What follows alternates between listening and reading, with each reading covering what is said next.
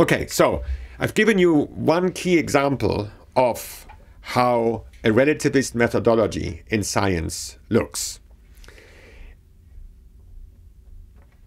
Let's develop this a little bit further and ask ourselves so why this why was this perceived as a threat or as a challenge we might say to the philosophy of science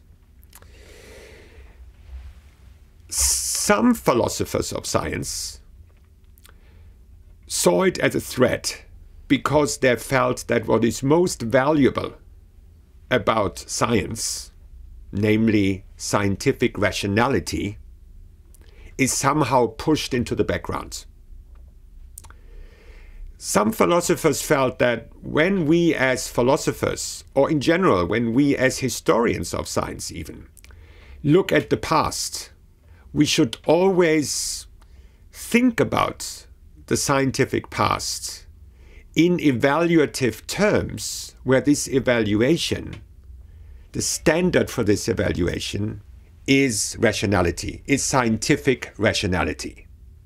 And then different philosophers of science have different theories about what that background rationality might be. So some people thought, like Popper, for example, that scientific rationality consists in um, testing theories under the harshest possible conditions in an effort to refute them. And if you can't refute them, then you're allowed to stick with them for the time being. But it's a mark of scientific rationality that you always put your theories under the most severe tests Shapin is saying that's not exactly what happened in the phrenology case. The phrenologists did not go out trying to refute their own theories.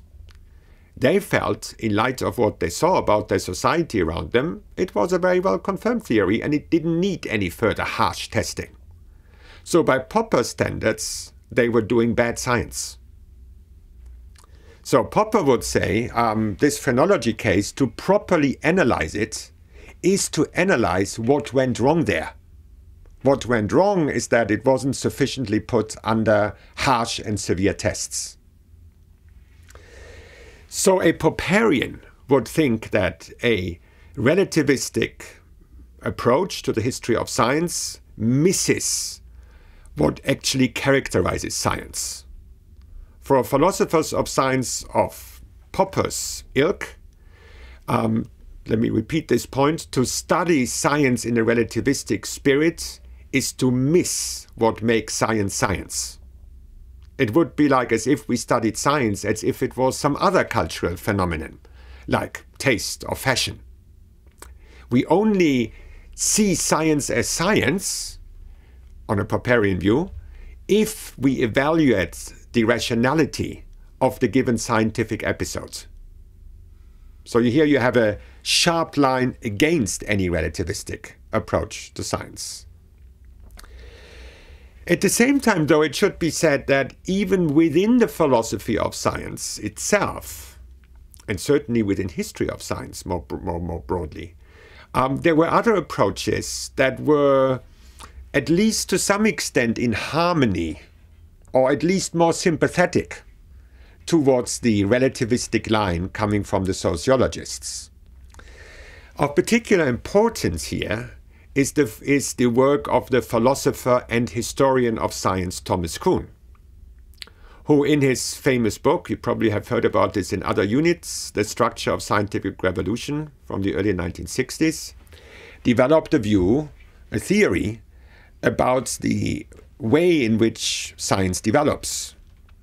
Perhaps it's appropriate that I remind you of one or two features of Kuhn's view so that we can then see both the commonality in some respect and the differences with the sociological view. So here's how Kuhn thinks about science. Kuhn thinks that science develops in a cyclical form. Kuhn thinks that once science becomes mature, um, it develops in a cyclical form in the sense that the same pattern repeats, it, repeats itself over and over again. So let me take you briefly through that pattern. The starting point of that pattern is a phase that Kuhn calls normal science.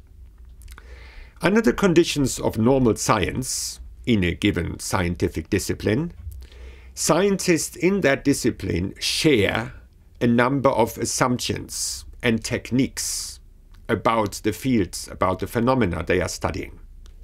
Kuhn calls this set of shared assumptions a paradigm. So, a paradigm for Kuhn is something that defines a scientific community. You have a scientific community insofar as your number have a number of people who share the same paradigm, meaning they share the same assumptions about how the phenomena for that field are to be studied, what methods are to be used, what kind of theories do we want to achieve? Do we want them to be formal theories, mathematical theories, using, using mathematics? Or do we want a more qualitative, less mathematical approach? what kind of instruments should be used, and what kind of exemplars exist for the study in this field. By exemplar, Kuhn means an exemplary achievement in that field of science. So go back to the scientific, uh, to the chemical revolution of the 18th century, just to have a to have an example. Um, there, famous influential French scientist Lavoisier came up with a new idea of how to study chemistry.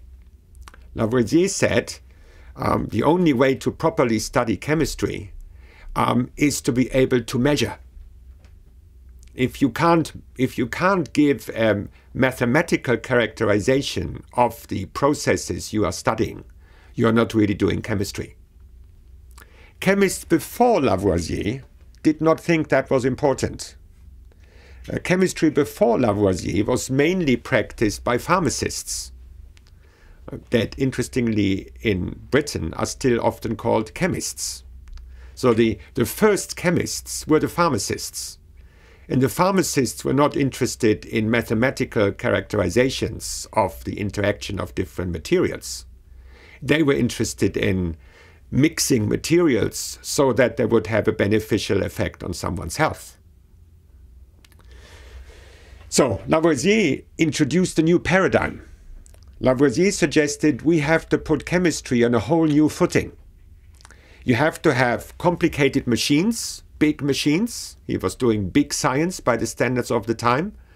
And incidentally, the only reason why he could do it was because he was a tax collector.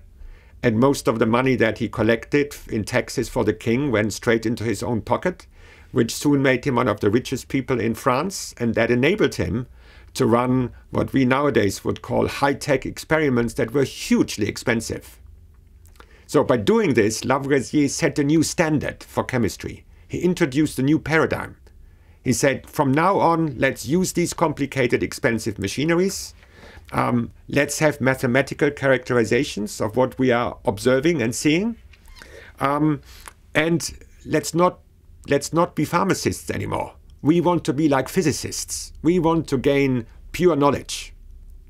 So, what I've characterized for you here is a paradigm, Lavoisier's paradigm. So, that's normal science. You have like a phase in which people share the same paradigm. But, says Kuhn, if we look at the history of science, it's also striking that while a paradigm is influential and powerful, um, for a time, it's not able to explain everything. There always will be phenomena that a given paradigm cannot explain. Um, for example, it was a big problem for Lavoisier's um, chemistry that he wasn't actually able to measure everything that he was claiming to be measuring. For example, he introduced one element, caloric, which he was not, like the element of heat, that he was not able to quantify. That was a big problem because he demanded everything should be quantifiable. But then he couldn't even quantify his own favorite um, element. So every paradigm over time um, encounters more and more things it can't really explain. It encounters more and more anomalies, as the technical term goes in, in Kuhn's work. And as those anomalies build up over time, there comes a point when the scientific community in question somehow thinks it just can't go on like that. we can't be piling up more and more anomalies. There must be something wrong with our paradigm. And then Kuhn thinks when that happens, we enter a new phase in the cyclical process, the phase of a crisis. When, like, scientists in that field literally feel they're losing the ground under their feet. They don't quite know anymore what to do, how to go on. Eventually, during this period of crisis, a number of new paradigms, new ways of doing chemistry or physics, what have you, um, are new ways of doing these, this kind of research. And then eventually the scientific revolution ushers into a new phase of normal science.